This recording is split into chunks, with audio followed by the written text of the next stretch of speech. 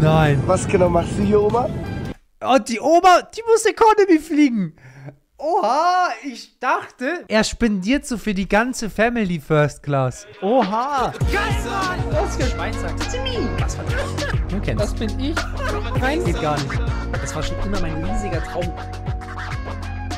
Wir reagieren das erste Mal auf ein Video vom lieben Trimax, Leute. Trimax, der Dude, der ist äh, nach New York geflogen und ein Video von ihm ist in den Trends. Das erste Mal First Class. Acht Stunden Flug nach New York. Ich bin bis jetzt zweimal in meinem Leben Business Class geflogen. Von Doha auf die Philippinen und von den Philippinen zurück nach Doha. Und ich kann euch sagen, also die, die Flüge habe ich extrem günstig bekommen. Ich habe pro Flug 450 Euro gezahlt. Es ist ein No-Brainer, dass man da sagt, das, da fliegt man nicht Business, also da fliegt man Business. Und es war unnormal geil. Also würde man das finanziell stemmen können, würde ich das nur noch, nur noch so fliegen. Es ist so komfortabel, es ist so chillig einfach. Allein schon, dass du, du kannst Essen bestellen, wann du möchtest. Du kannst Filme viel komfortabler gucken und so weiter und so fort. Aber wenn du es regulär kaufst, ist es halt echt teuer. Das heißt, du musst unglaublich viel Geld verdienen, dass du dir das leisten kannst. Über so Kreditkarten geht das Ganze deutlich besser und ähm, viel günstiger. Da kannst du das mit Punkten einrechnen und das lohnt sich dann viel, viel mehr. Ich kann euch da mal einen Link äh, von meiner Kreditkarte in die Videobeschreibung hauen. Ich habe eine American Express Platinum nutze ich super gern. Übernächste Woche fliege ich nach Manchester zu MyProtein und ich kann damit dann zum Beispiel an den ganzen Flughäfen in diese ganzen Lounges. Das ist auch super nice. Das ist schon immer sehr, sehr komfortabel. Kann man sich immer Essen holen und trinken. Und ich habe mir das auch so hochgerechnet, dass ich mir da halt ähm, Essen und Trinken immer spare, was ich im Flughafen sonst geholt hätte. Das ist ja sehr teuer am Flughafen immer, das Essen und Trinken. Und äh, dadurch, dass ich ein paar Mal im Jahr fliege, auch fliegen muss, spare ich mir das jetzt. Kann in den Lounges kostenlos essen und dadurch habe ich die Kreditkartengebühr teilweise durch viele Vorteile schon wieder drin. Also, Link ist in der Videobeschreibung, dann kriegt ihr ein paar gratis äh, Punkte darüber, wenn ihr euch darüber was holen möchtet. Aber schaut euch das Ganze nochmal gut an. Wir schauen jetzt auf jeden Fall beim lieben Trimax vorbei. Gucken wir mal, was er macht. First Class finde ich super interessant, ähm, das ganze Thema und äh, von ihm so ein Video. Schauen wir mal, was wird. Moin Leute, Trimax hier. Heute beginnt's. Heute äh, geht's für mich für zwei Monate nach New York. Wir haben dann eine Für zwei Monate? Oha, ich dachte, der nicht, dass der da so lang ist. Der hat einfach nur Urlaub. unfassbar geile Bude und haben da richtig, richtig viel vor zu vloggen. Wenn ihr jetzt also nicht verpassen wollt, gerne den Kanal abonnieren. Und heute geht's jetzt erstmal nur um den Flug. Mein Bruder ist auch mit dabei. Also meine Freundin ist auch mit dabei, meine Oma ist dabei und meine Eltern. Tolles Programm mit der ganzen Familie erstmal hin. Die sind nicht so lange da, nur eine Woche, aber äh, den Flug hinnehmen wir. Und ich wollte mein ganzes Leben lang schon einmal erste Klasse fliegen. Habe ich Weiß jemand von euch, warum der zwei Monate nach New York geht? So lang? noch nie gemacht. Und auch nur New York? Ist die teuerste Stadt der Welt. So, das ist. Ich würde mir vielleicht so die günstigste raussuchen, um Geld zu sparen. Ich meine, Ärzte ist nicht wirklich nötig, aber er spielt ja auch Fußball in einem Verein und so. Finde ich auch völlig unnötig, weil das Ticket ist zehnfach Seine Freundin hat ihren Master bestanden und das ist dann so das Ding quasi, dass sie dann dahin fliegen. kostet. Aber ich dachte mir, für einen Vlog, um euch das Ganze mal zu zeigen, kann man das auf jeden Fall äh, machen. Mein Bruder das finde ich auch völlig unnötig, weil das Ticket das zehnfache kostet. Aber ich dachte mir, für einen Vlog, um euch das Ganze mal zu zeigen, kann man das auf jeden Fall äh, machen. Mein Bruder hatte ich das zum Geburtstag geschenkt. Ist richtig? Danke. Gerne. Daumen hoch und lächeln. So Leute, die, die Oma ist Daumen, auch mit Daumen, dabei. Daumen. Äh, der habe ich das Ticket auch geschenkt. Nicht, nicht Daumen hoch. Es ist, äh, sie war noch nie äh, auf Amer in Amerika. Da geht es das erste Mal hin. Ist du aufgeregt? Ich bin aufgeregt. Ich kann, Was? kann schon gar nicht mehr richtig stehen.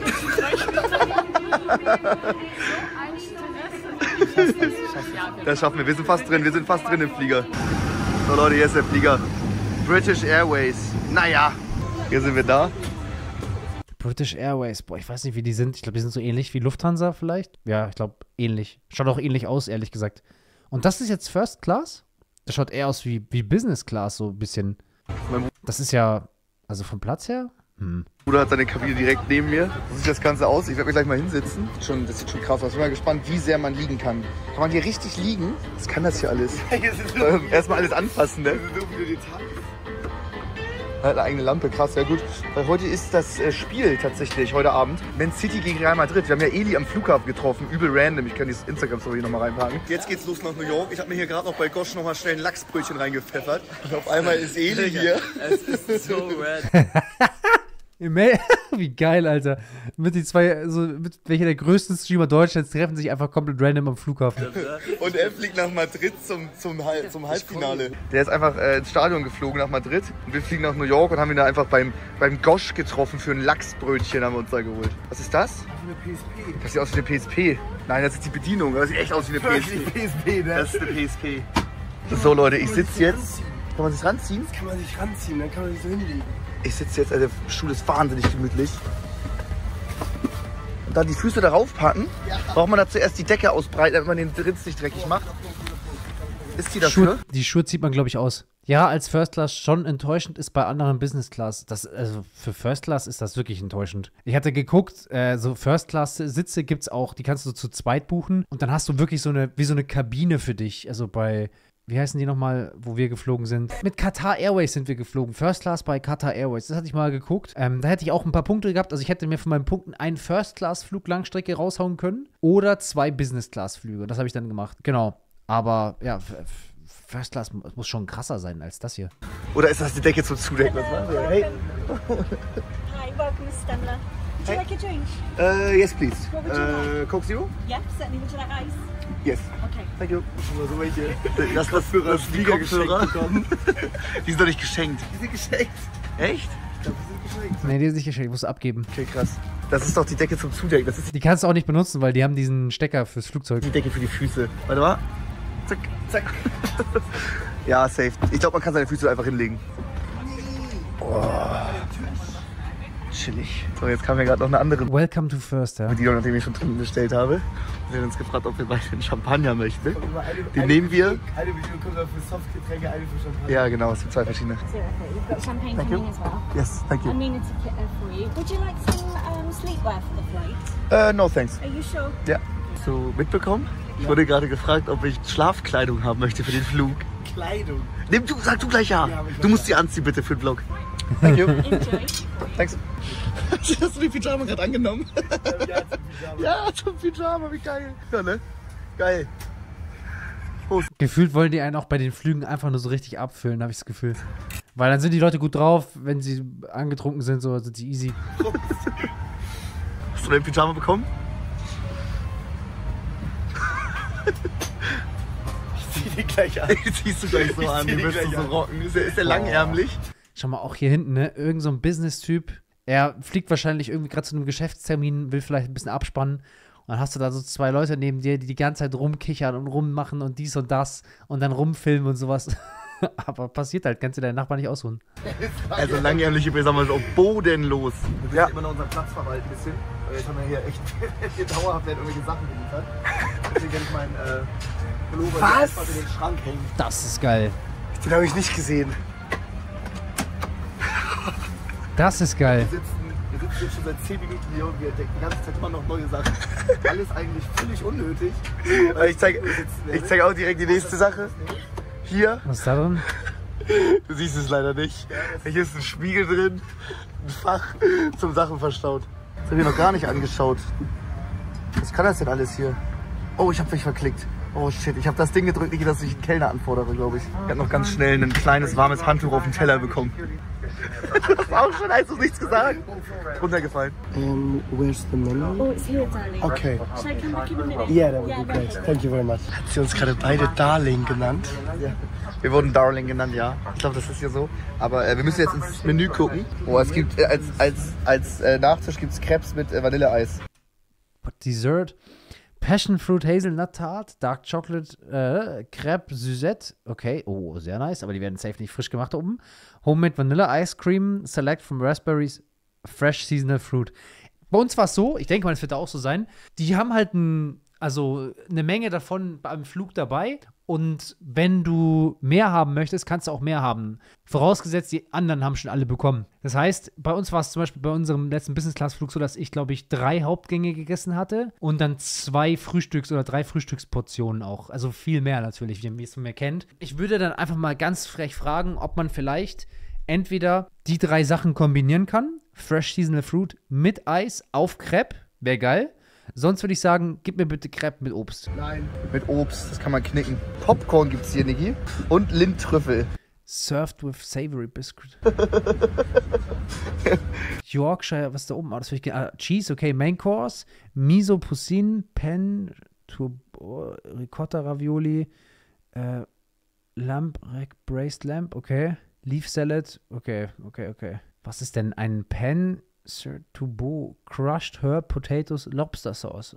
Keine Ahnung, was das hier ist. Tu, Tubo, weiß ich nicht, was das ist. Okay, gut, gefällt mir. Wenn wir hier wirklich, wenn City und Real irgendwie schauen können, bestelle ich mir schön den Espresso. Hast du auch zwei Vorspeisen bestellt? Was war das auch frei? Ja. Hast du? Beef Carpaccio mit Trüffelcreme Ja. und die Sweet Potato Ja, Super Cheap. sehr, sehr ausgesprochen gute Wahl. Internet haben wir, aber ich glaube, das mit dem Spiel gucken wird nichts. Das ist schon sehr schlechtes Internet. Aber ist ja auch klar.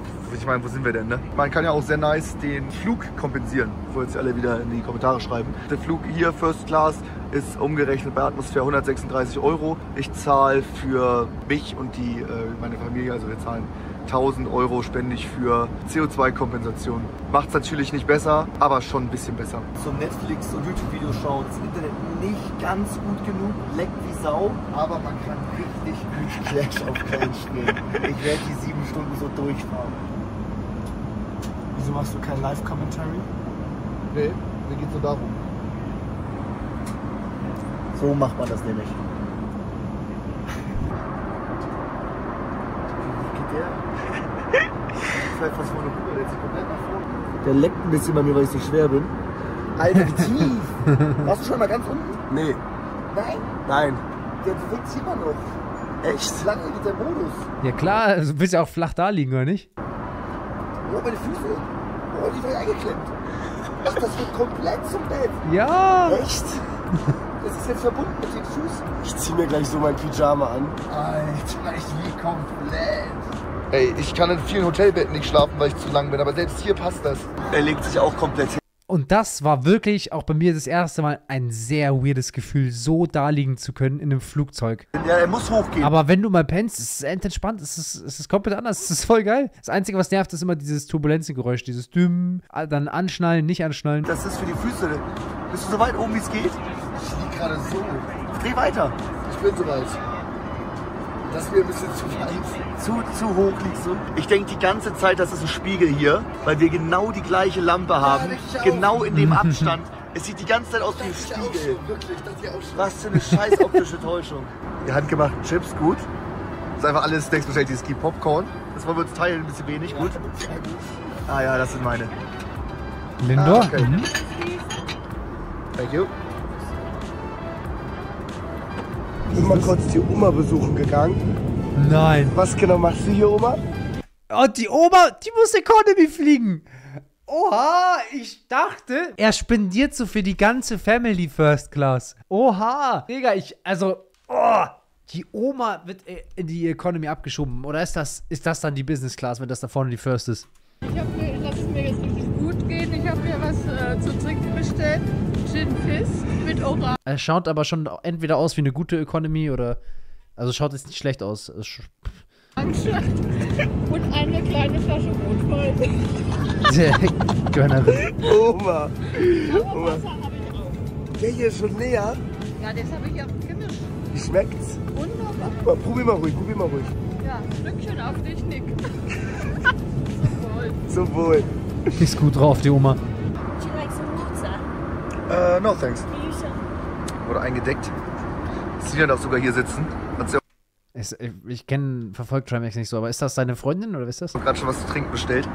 Bin gleich sehr gespannt aufs Essen. Wir haben Also dir würde mir auch einen Vogel zeigen, wenn ich, wenn ich, äh, wenn ich alleine Business Class oder irgendwas fliegen würde und die nicht. äh, boah, Ich könnte mir das mein Leben lang anhören. Die ganze Zeit würde mir das vorgehalten werden, kann ich euch jetzt schon sagen. übrigens für beide Flüge Ja, zu Recht auch. hin und zurück 6000 Euro bezahlt.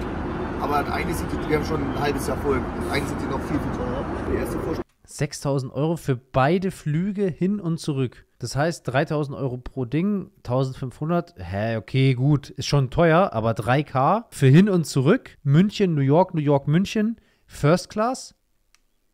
Chat, was sagt ihr? Also ja, ist natürlich viel Geld teuer, aber ich hätte jetzt ehrlich gesagt mit, keine Ahnung, 6K pro Person gerechnet. Wenn es reicht. Also vielleicht fast schon One-Way. 3K, ja, das ist viel Geld, safe, aber da hätte ich die Oma auch noch, auch noch mit, also mit Trimax Einkommen hätte ich dann auch noch gesagt, Omi, rein mit dir. Was ist da? Beef Carpaccio mit Trüffelcreme. Ich sehe da jetzt auch gerade Rucola und Tomaten. Stell dir vor, einfach, du, du lässt so springen, dass du die ganze First Class einfach ausbuchst. Du sagst, wir machen Familien, Familienausflug, wie so ein Bus, den du so mietest. So einmal British Airways, bitte einmal die ganze Business Class würde ich gerne mal mieten. Ja, meine ganze Familie kommt rein. Papa sitzt vorne rechts, Oma vorne links, dann mein Bruder und ich nebeneinander ah, und die Freundin ganz weit weg nach hinten. Ich will das Genörgel. Die müssen wir noch beseitigen. Das ist sehr, sehr lecker.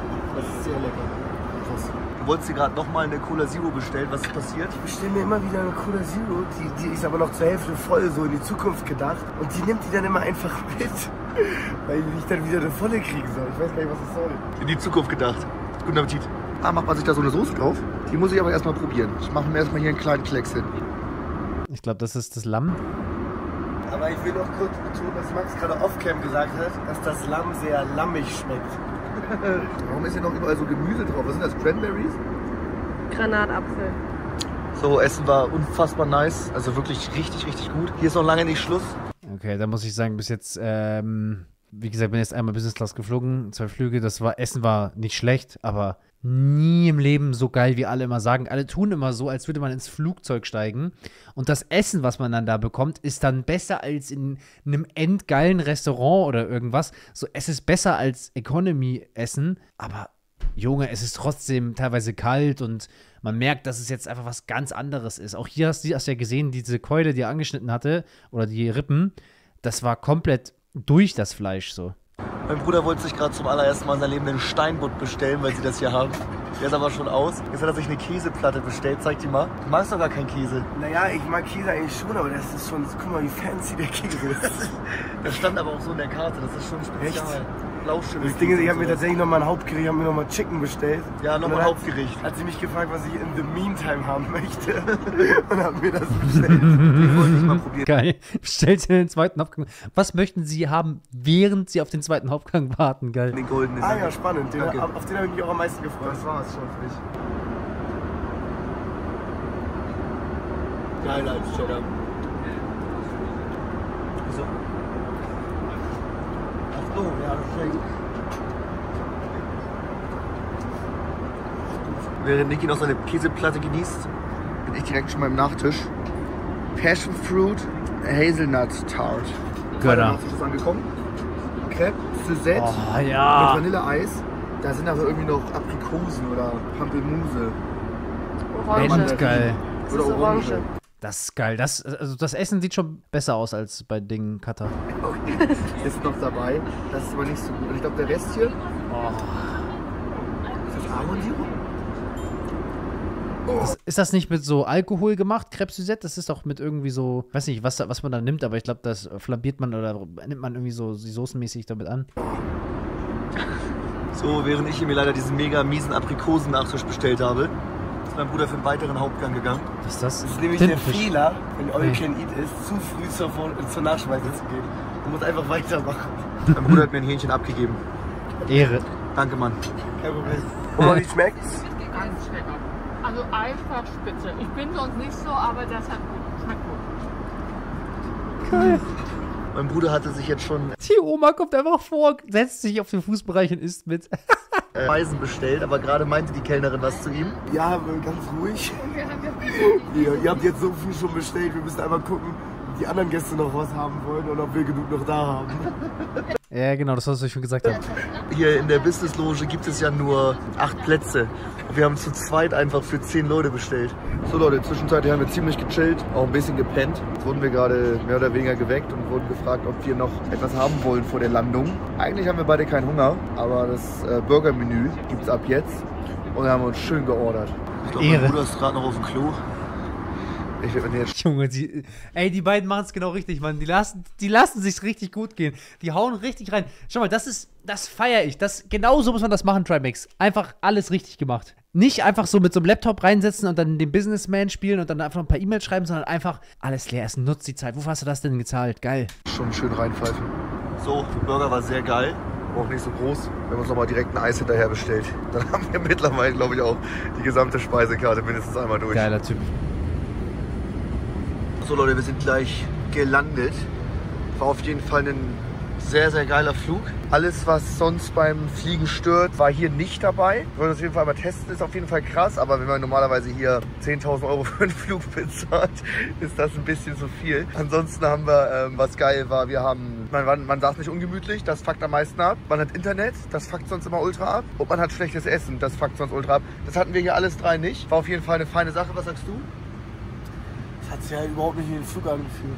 Wirklich gern jetzt noch sechs Stunden weitergeflogen. Der war echt cool. Also das war einfach nur heftigstes Chillen, ohne dass die Leute einen per Telefon erreichen können, was auch mal ganz cool war. Und ich habe ungefähr 35 Mal Sachen bestellt. Vicky hatte eine Taktik. Jedes Mal, wenn sie kam zum Geschirr abräumen, hat er was Neues bestellt. Und das habe ich auch gemacht. Und am Ende haben sie einfach meine Tischdecke weggenommen und meinen Tisch eingeklappt, ohne mich zu fragen, ob ich noch was will. Wir haben auf jeden Fall Vollgas gegeben. Schreibt eure Meinung sehr gerne in die Kommentare. Du mal das Handy. Und äh, abonniert den Kanal. Du musst jetzt lang. Okay. Okay. okay. Oh, oh, oh. Macht die Abmord beim Laden.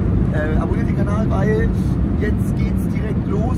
Geil. Alright, äh, du, da werde ich vielleicht tatsächlich mal reinschauen, ne? Bei Trimax die nächsten äh, Wochen oder so. Wenn da jetzt USA-Content kommt, feiere ich. War ein unterhaltsames Video auf jeden Fall. War mal ein bisschen anderer Business-Class, First-Class-Test, als man ihn gewohnt ist.